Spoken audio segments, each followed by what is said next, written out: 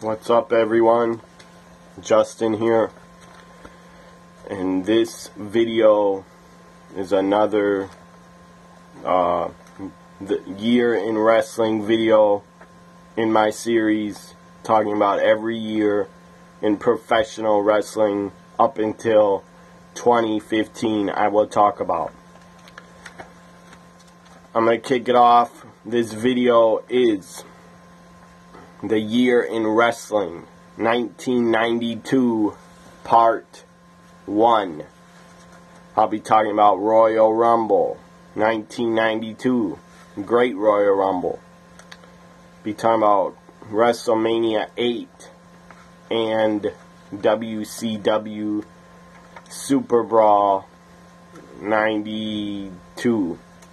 Uh, Super Brawl 2 in 1992 from my hometown of Milwaukee.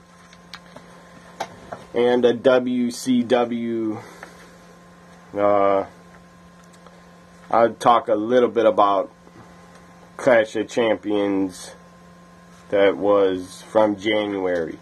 I'm not going to talk about every match. Let's see here. Talk about the Royal Rumble first because it was before Clash of the Champions 18. See, it's 18. So I'll talk about WWF Royal Rumble 1992 first. As I said, it was a great Royal Rumble. Very good pay-per-view. The uh, the matches that were not the Royal Rumble match were decent. Some were boring, some were good. Where the hell is the page? I it written down. Here is Royal Rumble 92 from Albany, New York. Took place January 19th, 1992. First match on the pay-per-view was The New Foundation, the team of Owen Hart and his brother-in-law Jim the Anvil Neidhart took on the team of the Orient Express. And the New Foundation defeated the Orient Express in 17 minutes 18 seconds when Owen Hart pinned Pat Tanaka. New Foundation, Owen Hart, and Jim Neidhart would not last long as a tag team.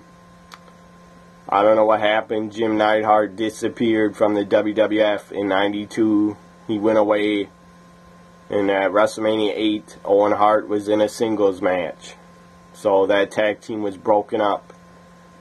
And then later on in 92, you had Owen Hart in a tag team and being a tag team with a new partner, Koko B. Ware. Uh, I forget their name, their tag name. I forget it. But they became a team. And Jim Neidhart uh, disappeared. I don't know why. Maybe failed a drug test. I don't know. Up next, you had Rowdy Roddy Piper challenge the Mountie for the Intercontinental Championship. The Mountie just won the IC title, I believe one or two nights before the Royal Rumble at Madison Square Garden at a house show. Bret Hart had a very high fever and was really sick. So I guess they decided to let the Mountie beat him for the IC title because Bret Hart was really, really sick. I don't even know why the company had Bret Hart wrestling. If he was really sick and had a really high fever, they shouldn't have had him wrestling. But maybe he wanted to really bad, so they let him. Anyways, the Mountie wins the IC title at a house show like one or two days before Royal Rumble 92. So Bret Hart loses the title. And he just gets it back like two, three months later at WrestleMania 8. So the Mountie's IC title run was a joke. and he lost it to Rowdy Roddy Piper at Royal Rumble 92. And that was the right decision. It was great and it was awesome to finally see Rowdy Roddy Piper in the WWF get some gold. That was his first and only title belt he ever won in the WWF. I take that back in all 06 or 07. Uh, Rowdy Piper and Ric Flair actually won the World Tag Team titles. I believe at a Cyber Sunday pay per view. So Piper held tag titles and one reign as a IC champ. So he held two titles in his WWF career. So Piper wins and wins IC title from the Mountie. The crowd loved it. They popped and they just loved it. Up next was the Beverly Brothers taking on the Bushwhackers. Very boring, stupid, lame ass match. The Beverly Brothers defeat the Bushwhackers, and nobody cared. Up next, another pretty boring match. Uh, wasn't the Road Warriors' fault. Wasn't the Legion of Doom's fault because they were they were good tag team wrestlers and they could work. I'm not saying they were great wrestlers, but they were good at what they did. They were straight up power wrestlers hard hitting wrestlers, stiff in the ring, but they got the job done. And people believed what the Legion of Doom did. They didn't have to do that much. All they had to do is uh, press slam people, power slam people, clothesline people, stuff like that. That's all they really needed to do. And they were over anyways. Even if they could never work a match. The Road Warriors had the look, and they were over forever with the crowd. So, the Natural Disasters defeat the World Tag Team Champions, the Legion of Doom, by countout. Uh, dumb finish, but I understand it because the WWF did not want the Natural Disasters to look weak and lose to the Road Warriors, so they win by countout. The Royal Rumble match was epic. 1992 Royal Rumble, still one of my favorite Royal Rumble matches in history. Why? Because you had guys, a lot of Hall of Famers in there. You had guys like uh, young Shawn Michaels in there as a Heartbreak Kid. Uh, when he first started his heel singles run, Shawn Michaels was in there. Uh, Hall of Famer Hacksaw Jim Duggan was in there. Hulk Hogan was in the Royal Rumble 92. Hall of Famer. Ric Flair was in it. Hall of Famer. Rowdy Piper was in it. Hall of Famer. Uh, Sid Justice was in there. He's not a Hall of Famer, but he should be. Sid was in there. The Undertaker, future first ballot Hall of Famer, was in there. Uh, Bret Hart, I think, or I'm I think probably wrong. I don't think Bret Hart was in there. Um, who else? I named all the top guys. Uh, Randy Savage was in there. He's a Hall of Famer. Jake the Snake, he's a Hall of Famer. He was in there. So a lot of big, big names and Hall of Fame talent were in this Royal Rumble 1992. And it's one of my favorites of all time. It's in my top five favorite Royal Rumble matches of all time. And the finish was Hulk Hogan um, throughout, got Sid out, eliminated Sid. Sid was holding on to Hulk Hogan's arm over the top rope. And he was holding on to Hogan's arm, distracting him. Ric Flair comes from behind, throws Sid, not, not Sid, Ric Flair throws Hulk Hogan over the top rope while Sid was holding his arm. That set up WrestleMania 8 feud and match between Sid and Hulk Hogan. the Royal Rumble 92 set that match up. And Ric Flair winning the championship set up his feud to defend it at WrestleMania 8 against Macho Man Randy Savage. And after Ric Flair wins the Royal Rumble 92, and the Royal Rumble 92 was 62 minutes and 2 seconds. And Ric Flair, I believe, was number 3. Either number 3 or number 2 in the 1992 Royal Rumble. So he lasted a really long time. He looked great in there. He looked like an Iron Man. And Flair could wrestle anybody back then an hour. It didn't matter. He could be in the ring an hour, and he could probably go two more hours in the ring. He was that great. Uh, commentary for the Royal Rumble 92 was epic. It was tremendous. Gorilla Monsoon and Bobby the Brain Heenan were a great, great team. They worked super well together. They were entertaining. They were fun to listen to. They were both great. Uh, Bobby Heenan was funny as hell. Watch that Royal Rumble 92 back. You will be cracking up the entire match. When uh, Flair, when a, another wrestler even touched Ric Flair and started beating on him, Bobby Heenan started going nuts, started going crazy, and it was so funny. It was so funny. Uh, you had Bobby Heenan screaming, yelling, saying, Get your hands off Flair! And uh, putting down Rowdy Piper, making jokes about Rowdy Piper, calling him a skirt skirt wearing freak and get away from Flair, and making fun of everybody Eh, that touched Ric Flair and was trying to throw him over the top rope. And then you had the legendary comments that Bobby Heenan made and kept saying, this is not fair to Flair. He was screaming it. This is not fair to Flair, Monsoon. It's not fair to Flair. And Gorilla Monsoon was great. He was yelling at Bobby Heenan, telling him to calm down and that he's sweating and just yelling at him, Will you stop? and saying stuff like that. The commentary was epic.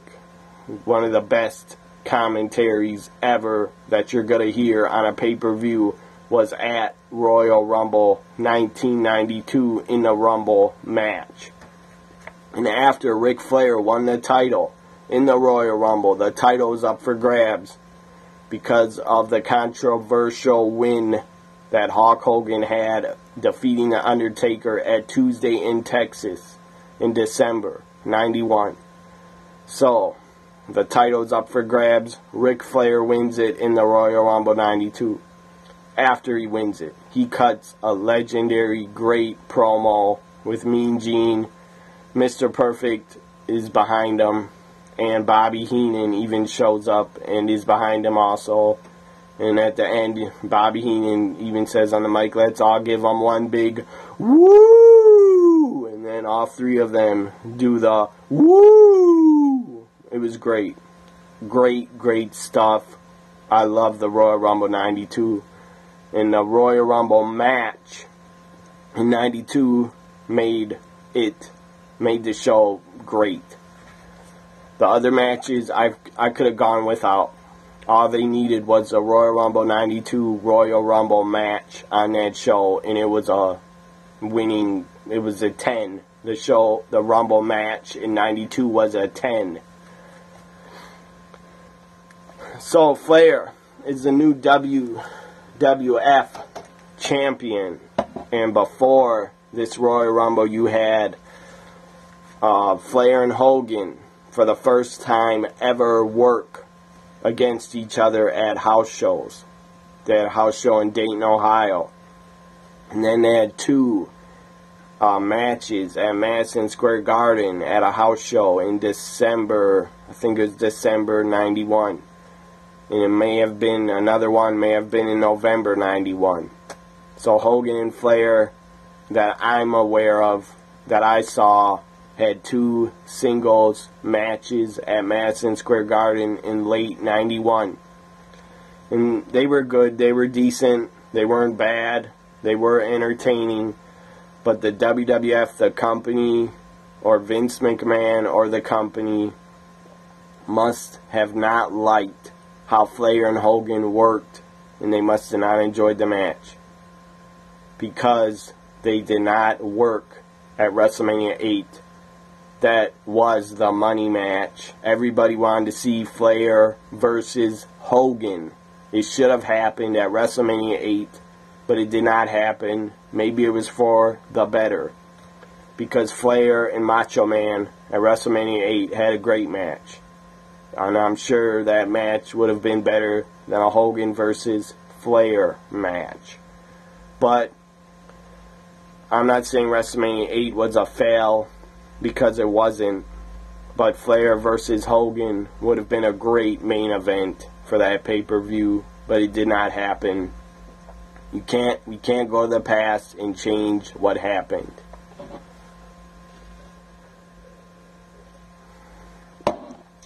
So WWF or Vince did not like Hogan and Flair's matches on the house show.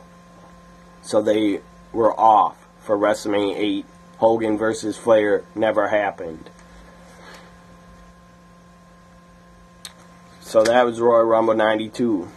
Epic Rumble match. If you've never seen it, or if you just want to enjoy it and uh, make yourself smile listening to Bobby Heenan and Gorilla on commentary, watch the Rumble 92 match.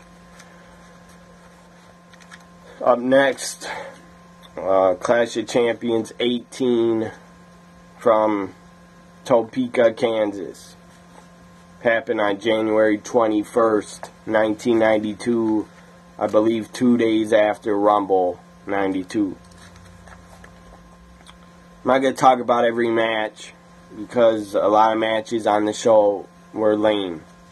I'll just talk about they introduced uh, Jesse Ventura was introduced to the crowd at Clash of Champions 18.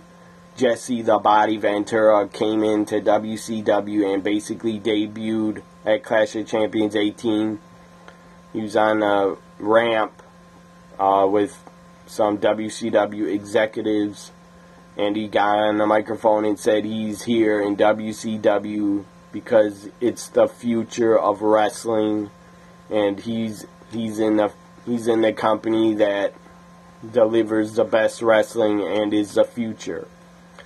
And then he, he even said WC, WCW has the future stars in wrestling. And that Jesse Ventura also said he is back in wrestling. And I uh, WCW did have a lot of great young talent in 92. They had Sting, Luger, the Steiners, uh, Steve Austin, Rick Rude. A lot of great talent. But in 92, WCW was not better. I mean, the matches and the pay per views might have been better, but the WWF was still number one, in my opinion. In 92, they were still number one. Just look at SummerSlam 92 in the massive crowd that the WWF drew in Wembley Stadium. That shows you right there WWF was number one still. In 92, uh, I don't, it wasn't that great of a year.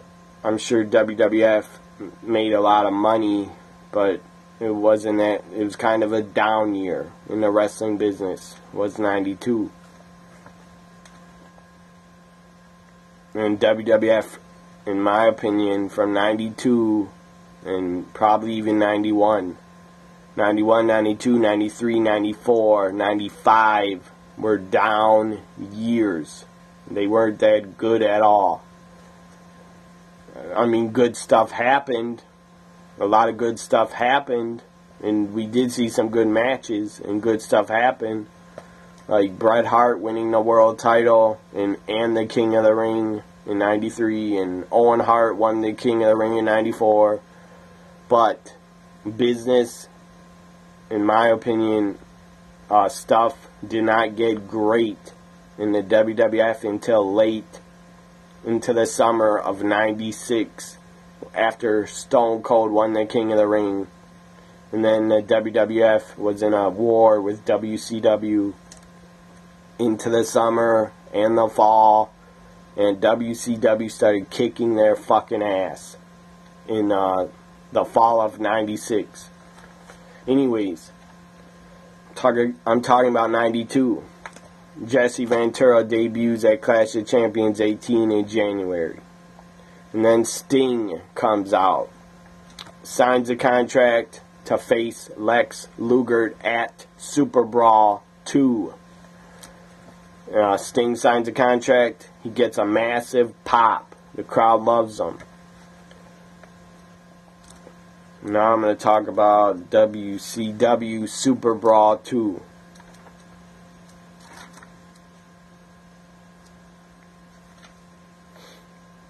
Super Brawl 2, very soon after, about a month later, after the Clash of Champions 18, we get the first WCW pay per view of 1992 happened February 29th from my hometown, Milwaukee, Wisconsin. First match of the pay per view, you had Brian Pillman defeat Jushin Thunder Liger to win the light heavyweight championship of WCW. Pillman and Liger had an epic match.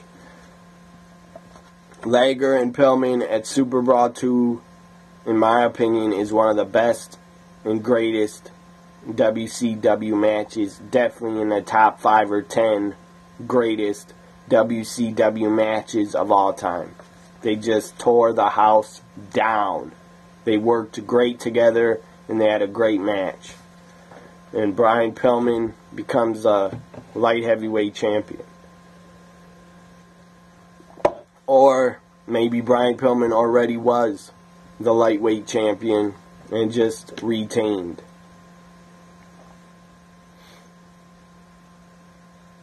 Uh, Jushin Liger, I guess. Jushin Liger was the light heavyweight champion, and Brian Pillman beat him to win it, to win the title. Up next, you had Marcus Bagwell take on and beat Terrence Taylor it was okay, but it was pretty. It was boring to me. Watching it back now, it was boring. Uh, up next, you had Ron Simmons take on Cactus Jack and defeat him. And then you had Junkyard Dog was in the crowd. JYD came out to the ring. Abdullah the Butcher was, I think, in the ring also. And JYD came in, interfered. I think it was after the match, or maybe it ended after Ron Simmons beat Cactus. JYD comes in, headbutts Abdullah, and beats up Cactus, and the crowd popped. They loved it. Up next, you had Heavy Metal, Van Hammer, and the Z Man defeat Vinny Vegas and Rick, Ricky Morton. Vinny Vegas was Kevin Nash working another failed gimmick WCW gave him. But at least Vinny Vegas was better and more entertaining than Oz. Up next, Barry Windham and Dustin Rhodes. They were a great tag team together for a couple months defeated the team of Stunning, Steve Austin, and Larry Zbyszko. They were part of the Dangerous Alliance. World Tag Team Championship match. The champions Bobby Eaton and Arn Anderson, part of the Dangerous Alliance, defeated Rick and Scott Steiner by disqualification. That was a good tag match. U.S. Championship on the line, United States title. Rick Rude defeated Ricky the Dragon Steamboat in 20 minutes and 2 seconds after Paulie dangerously dressed up as Ricky Steamboat's ninja assistant smashed him in the head with his cell phone.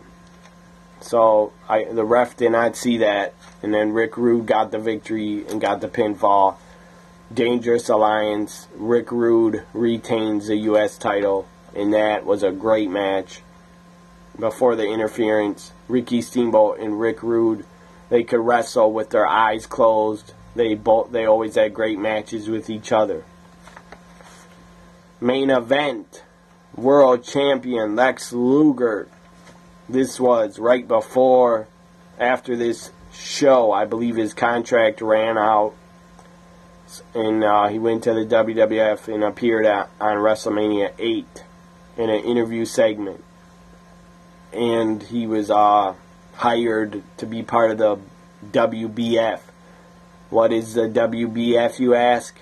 It was shit. It was stupid as fuck. The WBF was was the World Bodybuilding Federation that uh, Vince McMahon started for some reason he thought wrestling fans would pay to see uh, bodybuilders pose. No, they won't, and no, they will not ever. Wrestling fans will not ever pay to see bodybuilders posing all greased up with baby oil all over their bodies. No, thank you. I don't want to see that. But Vince thought it was a good idea. WBF was not not a good idea. It was a fucking stupid ass idea. Uh, XFL, I don't think XFL was that bad of an idea, but it did not work because you can't go against the NFL and beat them. The XFL ratings were not that bad, but I'll talk about that in my 2001 year in wrestling video. But XFL definitely was better than the WBF. That crap was shit. WBF was awful. Okay, Lex Luger defending the title. Of course, he jobs and Sting wins and becomes the WCW World Heavyweight Champion again. That was awesome. That was the right decision. And uh, Luger does the job for his friend Sting. They were they are friends in real life. I think they're still friends. So Luger does the job to Sting because he knew he was leaving WCW and that was the right decision.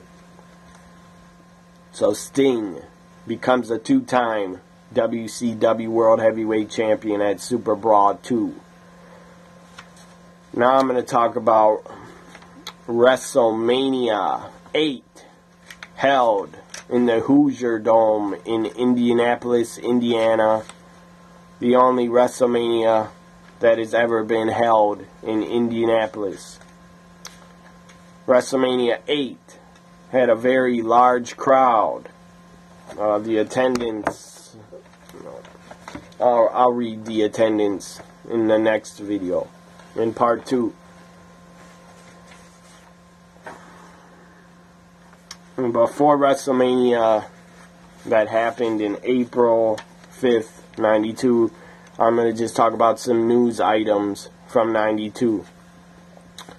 Uh, February 8th, 92, Kerry Von Erich is arrested in Texas for attempting to get uh, drug prescriptions.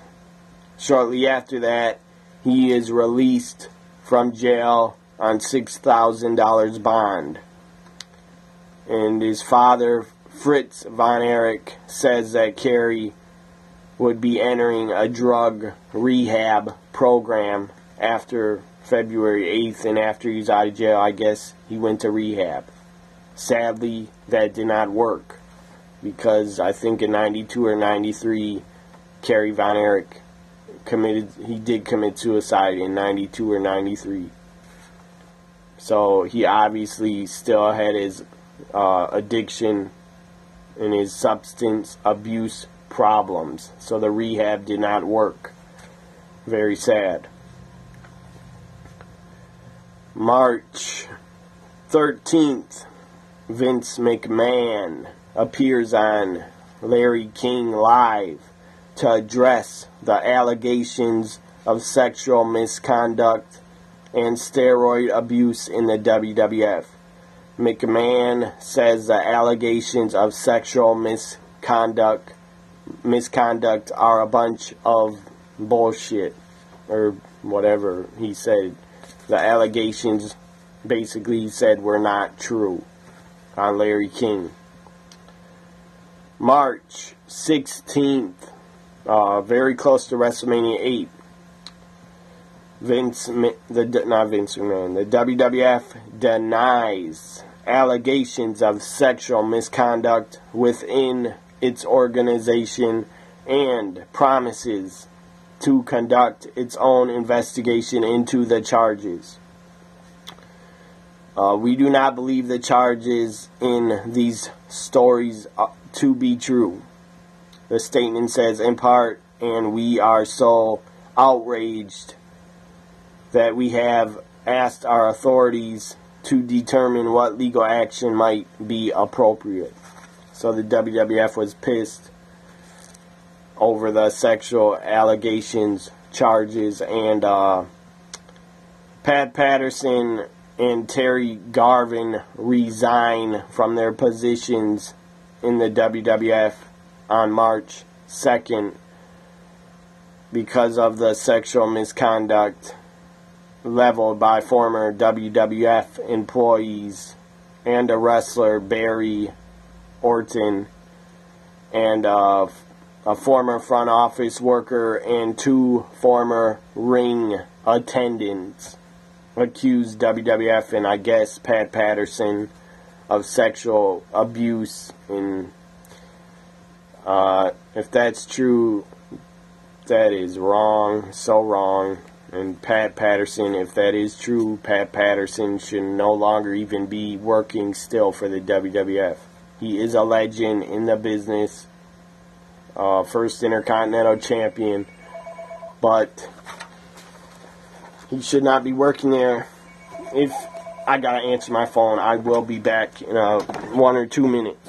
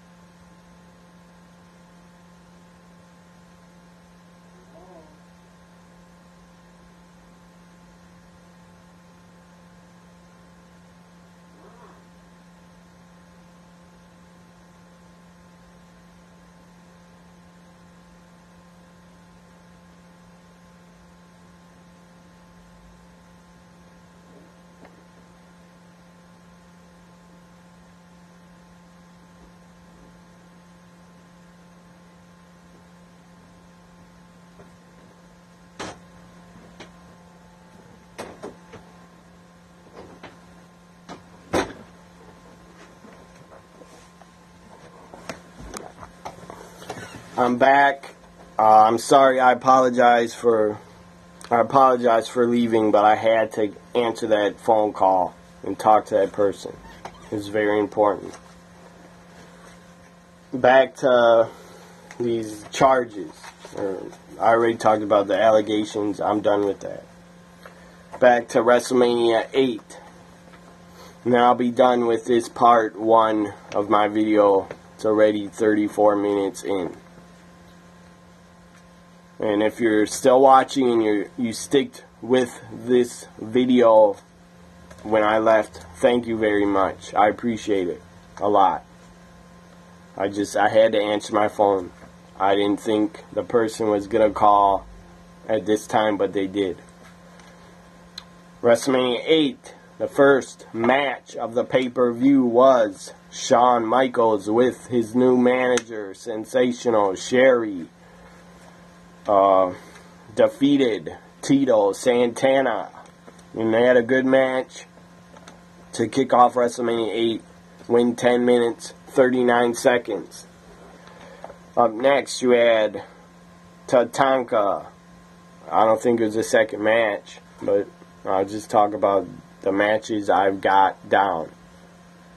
Or the second segment, or interview segment, Legion of Doom, Legion of Doom came out and was interviewed on this stage by Mean Gene Okerlund. They should have been on WrestleMania 8. I don't know why they did not have a match. I guess the Legion of Doom did not have a match because the World Tag Team titles were defended between Money Incorporated and the Natural Disasters. That was stupid. And the Road Warriors, the Legion of Doom, LOD, should have been involved and had a match. At least had a match at WrestleMania 8. That was a mistake not putting them in a match for the fans to see them at WrestleMania 8 in action. A lot of mistakes were made. You had no Hogan versus Flair on WrestleMania 8, and you had no Legion of Doom in a match. Two big mistakes. Uh, Tatanka defeated Rick the Model Martel. The Natural Disasters challenged the World Tag Team Champions IRS and Ted DiBiase, and they won by countout when uh, Ted DiBiase and IRS walked out of the ring and left. The team of Virgil, the Big Boss Man, Hacksaw Jim Duggan, and Sergeant Slaughter defeated the team of the Repo Man, the Mountie, and the Nasty Boys. And that was a, a 10 man tag, or 8 man tag, and it only went 5 minutes 22 seconds. Pretty pointless to put that on a WrestleMania. Up next, really good match. Uh, the second best match of the show. Randy Savage defeated Ric Flair to become the new WWF World Heavyweight Champion for the second time. Randy Savage becomes the WWF Champion. That was awesome, and that was a great match to watch. Flair bled in it, and there was no bleeding, a no ble- bleeding policy in the WWF in '92 because they were kid friendly and uh, basically, it was like a kid's product. In '92, it was. But you had Flair bleed, and he was told not to. And Vince McMahon, after the match, was very upset at Ric Flair and yelled at him, and said, "You don't, we don't, we don't do that here, whatever." I'm glad Flair did it. It added to the match, and it added to the feud between Randy Savage and Ric Flair. Having them bleed was good for the match. I don't care what anybody says. Um, so Macho Man becomes a world champ. Up next, Bret Hart challenged Rowdy Roddy Piper for the Intercontinental Championship. This match was the best match on WrestleMania 8. It was the match of the night in uh, Savage and Flair. Yeah, Savage and Flair. I thought I was getting someone else mixed up.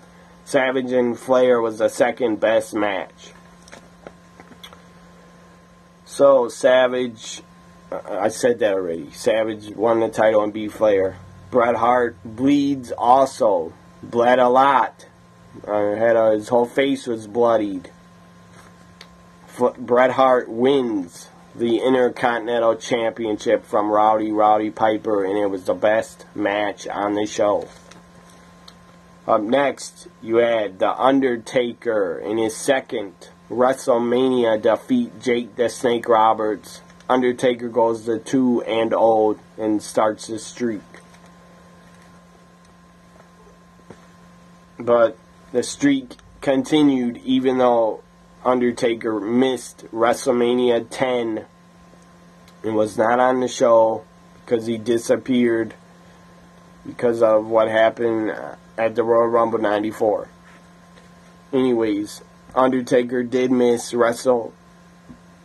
Excuse me, I had to burp. Undertaker missed WrestleMania 10 and WrestleMania 16, but his streak continued because he never lost until WrestleMania 30. Uh, so Taker defeats Jake Roberts. It was a very short match. Other matches, Owen Hart defeated Skinner in 1 minute and 11 seconds. Uh, main event was Hulk Hogan versus Sid Justice, and this match was uh, believed to be Hulk Hogan's last match in the WWF. They did a big interview segment with him and Vince McMahon sitting down. Uh, all these pictures of great Hulkamania moments in the background, and what Hogan, Vince told him basically to his face what Hulk Hogan and Hulkamania has meant to the WWF, and shook his hand and said, Thank you, Hulk Hogan, for the memories. And basically said that. And everybody thought this was Hogan's last match, last WrestleMania. It was not. I'm glad it was not. Uh, I think he did want to retire in 92, or he did want to uh, just do part time or just retire and be home with his family.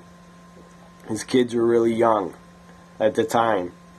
But when Hogan was away and he was doing acting on Thunder in Paradise and he was doing his acting jobs, obviously he really missed wrestling and he told Jimmy Hart he missed wrestling and he would get an offer from Eric Bischoff and he took it and he went back to wrestling in 94 and went to WCW.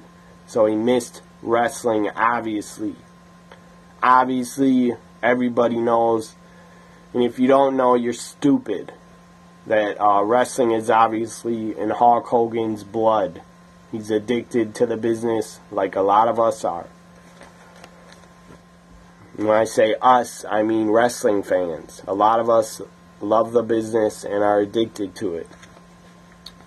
So, Hulk Hogan defeats Sid Justice by disqualification when Harvey Wippleman, Sid's manager, interfered. And then Papa, Papa Shango, whatever, however the hell you say his name, Papa Shango, Papa Shango, comes down to the ring with a giant skull with smoke coming out of it. Uh, that was pretty freaky. As a kid, Papa Shango scared the hell out of me because I was a young kid. Anyways, Papa Shango and Sid start beating on Hogan, and then the music hits of the Ultimate Warrior. The Ultimate Warrior is back in the WWF. He runs down to the ring, does a sprint down to the ring, gets in the ring, uh, hits Sid or Papa Shango with a few right hands and clotheslines Sid over the top rope. Or maybe clothesline Papa Shango. I don't remember. But he clotheslined somebody over the top rope. And then Warrior was in the ring with Hogan. Uh, Ultimate Warrior looked a bit different. He had his hair cut short and he looked much skinnier and trim. It was not a different warrior. There were there were always rumors. I always heard rumors, and I actually believed them when I was a kid that there were two Ultimate Warriors. There were never two. There was always one Ultimate Warrior. He just came back in '92 and was skinnier. It was the same guy that you saw in 88 and 89 and 90 and 91. It was the same Ultimate Warrior. He just had a different look and upgraded his look. So, Warriors in the ring with Hogan. Hulkamania music, Real American goes on, goes on, and they celebrate in the ring, uh, hug each other, hold each other's hands up, start posing. And WrestleMania 8 goes off the air. Pyro goes off in the background of Hogan and Warrior. And WrestleMania 8 goes off the air. Uh, again, I'm going to talk about the commentary on WrestleMania 8 was absolutely great, tremendous, epic, entertaining. Um, it was just awesome. Again, Bobby Heenan and Gorilla Monsoon, my favorite commentators ever to listen to, my favorite team ever to hear on a wrestling pay per view or on any other shows they worked. They worked on a Wrestling Challenge for a lot of years. Commentary was great. You had Gorilla Monsoon telling Bobby Heenan, "You want me to push you off the edge of this broadcast booth? There's a it's a long drop down, and I'll throw you out of this window." And uh, funny shit like that. You had Bobby Heenan during Rowdy Piper versus Bret Hart. Uh, very in the beginning, uh, Bobby Heenan asks and says to Gorilla Monsoon, "You know, Gorilla, I was a champion once." And then Gorilla says, "Of what?"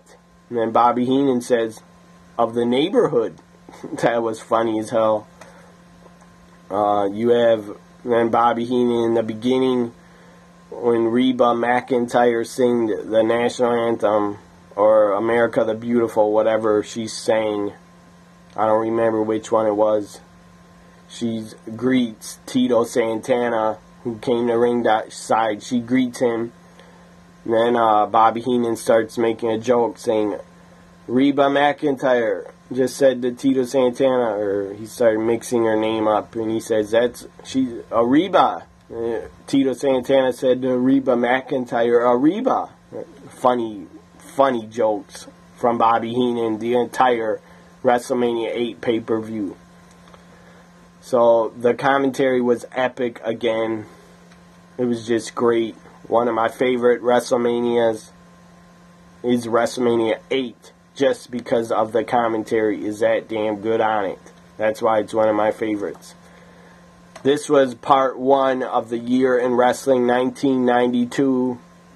I went on a bit too long. I apologize. I did get a phone call during this video.